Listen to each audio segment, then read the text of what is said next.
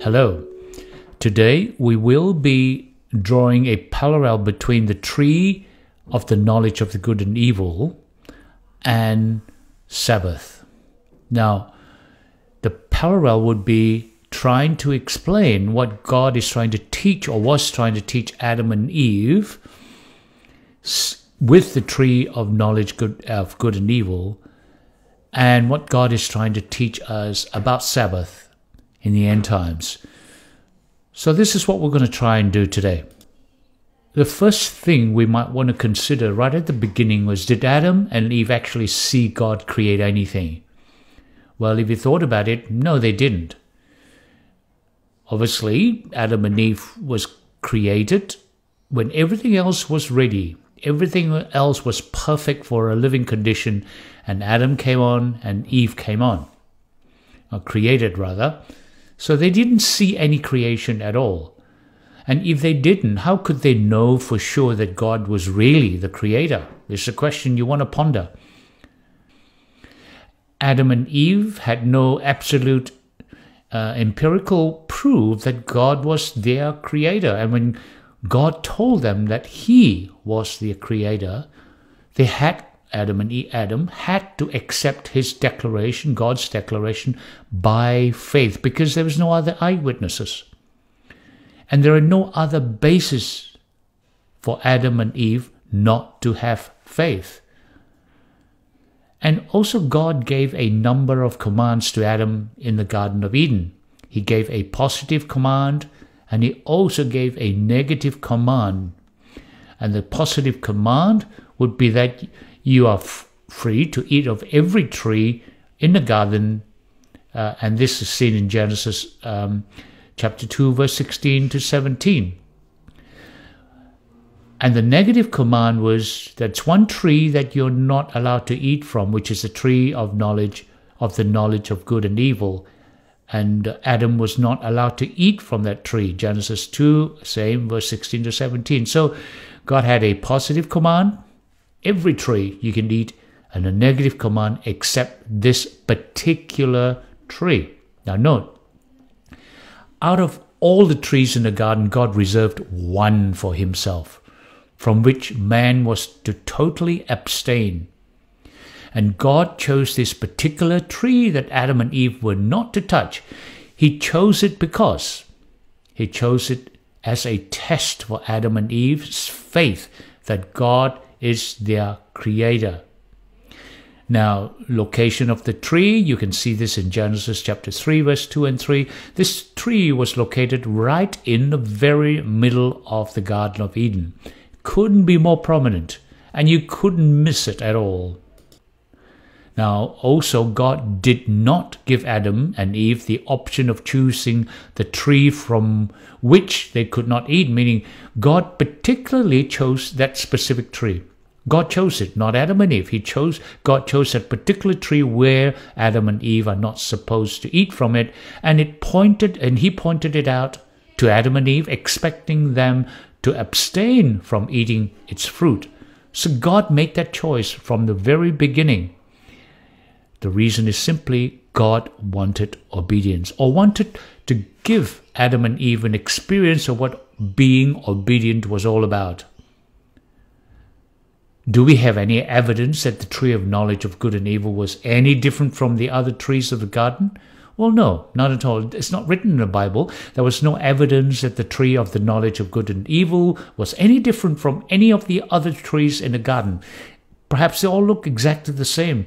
We were not told that it was taller or brighter or, or you know greener or, or whatever. It's not any. Neither did we. We were told to have any different kind of fruit than the other trees.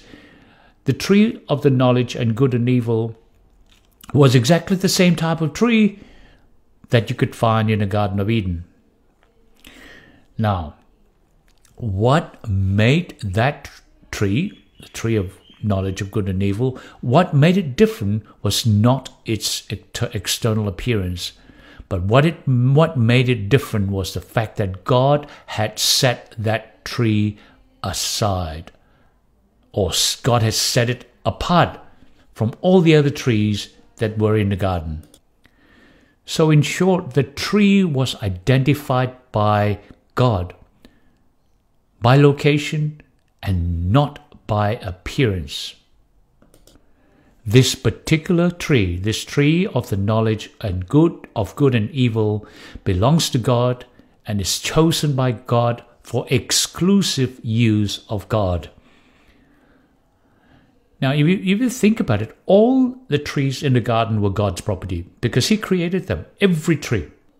But the tree of knowledge, of good knowledge, knowledge of good and evil, was a special category. It belonged to God exclusively in a very special sense.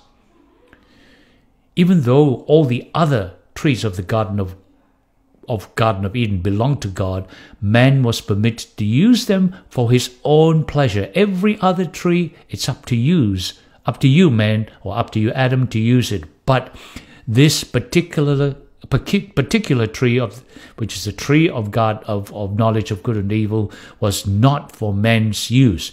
This particular tree was off limits. And if you partake in it, God's commandment was very clear you shall surely die. You see, God knew Adam and Eve had no empirical evidence or any form of proof that he was the creator. Adam had to believe God based on faith and thus obey God based on this faith. And God also knew that true obedience must come from choice. Now, without choice, you can call it coercion. So, God had to introduce the concept of choice to Adam. Now, choice or free will cuts both ways. Unfortunately, Adam and Eve made the wrong choice. And God had to implement his redemptive plan to save humanity from extinction. You see, the forbidden tree was not there to catch Adam out, out or, or, or just to tempt him to, to make a mistake. Not at all. The forbidden tree was introduced, was meant to give Adam the experience of what free will is. To give Adam the free will, his opportunity to, to demonstrate his faith and trust in God by obeying. Otherwise, Adam and Eve would simply be robotons. You know, they just created to obey. So God didn't want that. To able to have a true choice, a true obedience can only come from free will. And in short, basically, it's a test that Adam and Eve's faith and Adam and Eve's obedience in the Lord to see if they were willing to recognize Him as the Creator and as the only true God. Now let's look a little bit about Satan's method of temptation. When you read the, the paragraphs, it's clear to say that Satan was not telling Eve that she and Adam would be little gods. Satan was actually telling her that they would be God, the God Almighty. And Satan unabashedly attacked God's sovereignty as the creator. And he knew Satan knew that the only way he could get Adam and Eve to dishonor their Creator, the Almighty God, was by getting them to use the very tree that God had reserved only for Himself. In, in essence, getting Adam and Eve to disobey, to make the wrong choice. The adversary used the classic half truth and lies to deceive Eve. See, half truths or counterfeit tactics. This is the best lie. The best lie is the one that's closest to the truth. So if you take this experience and this thought about Adam and Eve and bring it forward to today, today we do not have any greater empirical or rational or historical or scientific proof beyond a reason, a proof that God was the creator than did Adam and Eve. After all, there are many plausible explanations for the origin of the world, the Big Bang, the intelligent design, the progressive creation, etc. The fact is that we can only be certain that God was the creator because the Word of God says so. The fact is that we can only be certain because we accept this Word of God by faith, not because we have any proven empirical or rational evidence. Yes, we do have evidence, but we do not have a hundred percent proof that God exists, that God is a creator. And in today's term, very similar to the command given to Adam and Eve in the Garden of Eden, what was the in, in the Garden of Eden, we remember we had a positive command and we had a negative command. And the positive command was you can eat from all the trees, and a negative you can't eat from this particular tree. Now, in today's term, what positive command did give God give in the fourth commandment? Well, God's like God specifying all the trees in the garden for man's consumption, He also specified that the first six days you can do whatever you like in those first six days for, for humans. And that's a positive commandment. And the negative command was God also then, like He reserved one tree exclusively for Himself, God today also said the fourth in the fourth commandment underlines the fact that He has reserved one day in the week, which is the seventh day of the week for Himself. Now, this is a week that human beings are not allowed to do anything they like with it. This is a day that is specified and laid aside by God for a specific reason. So, what we're saying is God specifically chose the tree from which Adam and Eve were not to eat. And in the same manner, the seventh day was specifically chosen by God at creation as his day of rest. Now, God has not given man the option of choosing on which day he will, man will abstain from work. The fourth commandment does not say, well, remember to keep one day in the seventh, you know, just remember to keep every seventh day or remember to rest. No, God was very specific about the day which he chose. The seventh day is the Sabbath of the Lord thy God. If you if you look at this, is there any astronomical reason for a seventh day of the week that God created? Well, created. Well, actually, there is an ex, uh, astronomical explanation explanation for the year. With year being, it is the amount of time it takes our planet to make one complete turn around the sun. So one year. There is also astronomical explanation for the month, which is it is the time period between one new moon and another. There is an explanation for why we chose the month. There is also an explanation for the day, for instance, that the day is the amount of time it takes one planet to make our, our planet, rather, um, the Earth, to make one complete revolution on its axis. So those are explainable. But you see, there is no astronomical explanation for a seven day week. The only reason for the existence of the seven day week is that God made it so at the beginning. Since time immemorial, the week has been composed of seven days because God said so. Now, just like the tree of the knowledge of good and evil in external appearance had no physical difference between them and uh, between the other trees and this particular tree. Just like that sabbath in its external appearance sabbath day had really not much difference at all. In the same manner as that tree every day of the week belongs to god because he made them but the Sabbath belongs to God in a special sense. On the surface, the Sabbath looks just like any other day. It has 24 hours and the sun rises and the sun sets. It's just like any other day. We wake up, we go to sleep, and you know, we go to bed and we work. Same old, same old. But the Sabbath externally, exter- the Sabbath externally looks the same. But what sets the Sabbath apart is not its external appearance, but the fact that God has reserved it for Himself, that God had made this particular day holy. Why did God make this particular day holy? Well,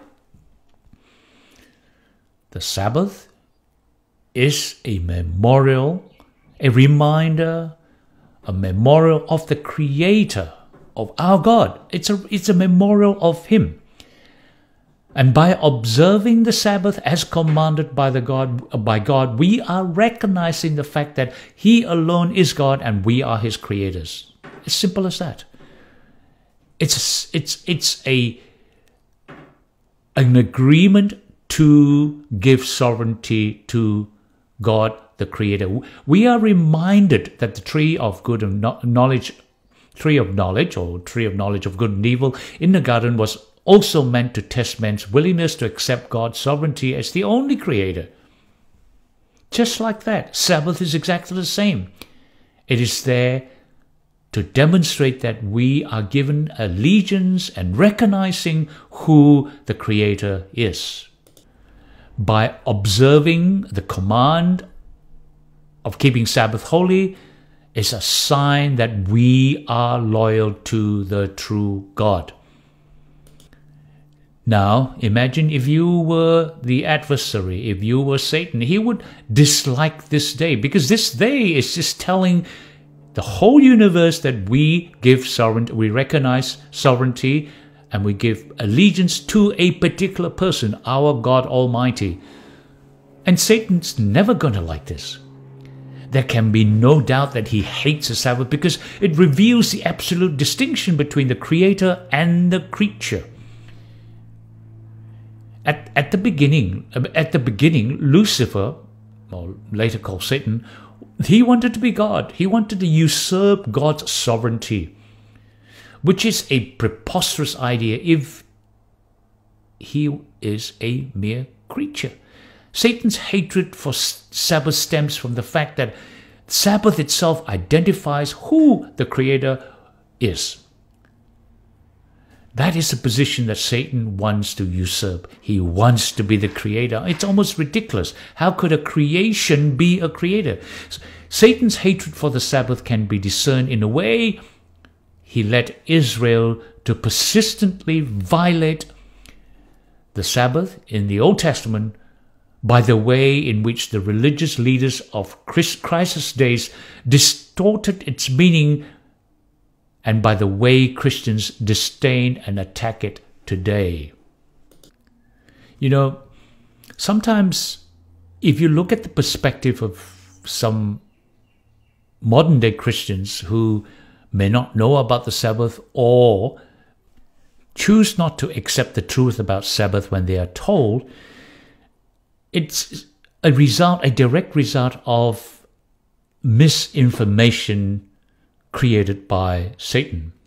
Satan has a counterfeit for each one of God's truth, and Sabbath is no difference. He has a counterfeit for Sabbath.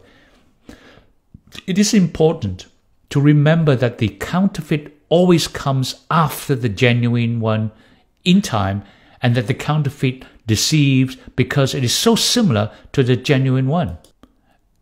I mean, if you look at any of the commercial world where uh, some companies tries to counterfeit a market leader, they wouldn't create their own style and their own brand. They would even try and call it a similar name to the original brand, make it look similar to it, make it almost uh, operate similarly, because the best form of deceit is to make sure that it's as good looking, as close to the genuine ones as possible. So God's genuine day of worship at the very beginning, right from creation, was the seventh day Sabbath. Now, should we expect a counterfeit day of this important day later in history? Well, you would expect that. Would it be a day which purports to honor God? I mean, this, this counterfeit day would purport to honor God. And you would say yes to both those questions.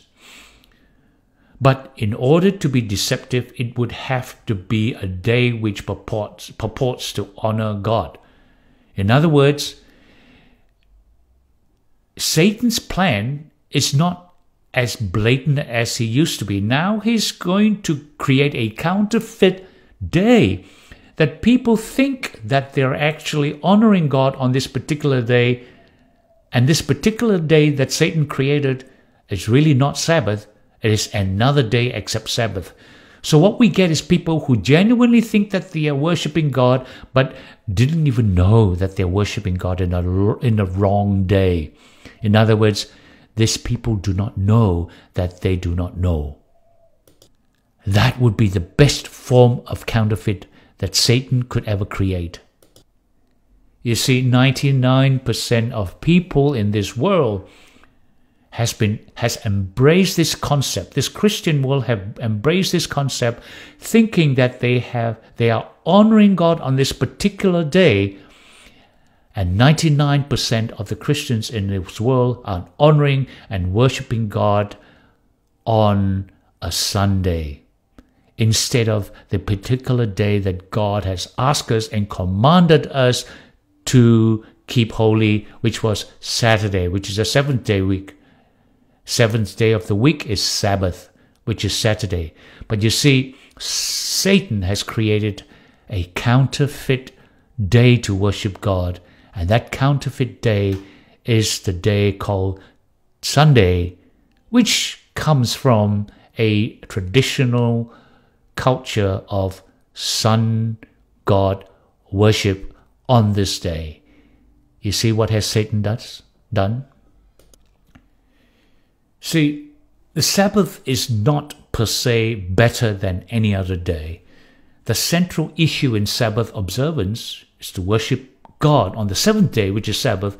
It's not whether one day is better than another. Another. The central issue is whose authority do we accept?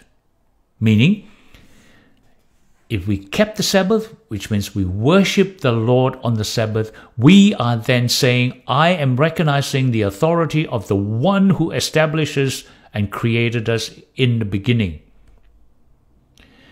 If we don't worship on Sabbath and we worship on any of the other days in the week, by keeping that day, meaning Sunday, for instance, we are then recognizing the authority of the power which made a day of worship that gives allegiance to Satan, not to the God. Inadvertently, I would say, by many Christians who are not aware that when you worship once a week and you worship it on Sunday and not Saturday, you are then saying inadvertently, I give my allegiance to the creator of counterfeit, the greatest father of lie, Satan. Well, I know this is a very controversial point to make, but it has to be made. You know, there's some arguments for Sunday worship or against Sabbath worship. Some people in today's world argue that because we do not execute people for those who break the Sabbath today. You know, you've decided not to worship on Saturday, you decide to worship on Sunday, you will not be executed. And th- that is the argument that's been used. And, and Sabbath, therefore, is no longer binding upon Christians because, you know, you're not going to die. But this logic ignores the fact that people in the Old Testament were also executed for adultery. Remember that. And is adultery all right today because we do not execute people for it? Well, the fact is that knowingly trampling on Sabbath or God's law does not lead to immediate death today, but it will lead to the second death at the end of time. Meaning, what we're saying is, what is the penalty of violating the Sabbath? Eternal death. So, in summary, uh, I would like to quote um, a devotional book called Our High Calling, and this is written by E.G. White, on, and it, I'm quoting it from page 343. I quote, As the tree of knowledge was placed in the midst of the Garden of Eden, so the Sabbath command is placed in the midst of the Decalogue. In regard to the fruit of the tree of knowledge, the restriction was made, Ye shall not eat of it, of it lest ye die. Unquote. Genesis 3 3. Of the Sabbath, God said, Ye shall not defile it, but keep it holy, and remember the Sabbath day to keep it holy. Unquote. Exodus chapter 20, verse 8. As the tree of knowledge was the test of Adam's obedience, so the fourth commandment, or the Sabbath commandment, is the test for us all today that God has given to prove the loyalty of all his people. It is a test of our loyalty fail this test, you will be sending a message to say, I am not loyal to the Lord. And if you're not loyal to the Lord, then you by default you're loyal to the other side. So, in conclusion, Sabbath is absolutely important, just as the tree of knowledge of good and evil is just as it was important to Adam. So, remember this study this, meditate on this, and not to be fooled by the counterfeits that's been given by our adversary. Stay true to the Lord, trust the Lord, obey the Lord by faith, and we'll be saved. God bless.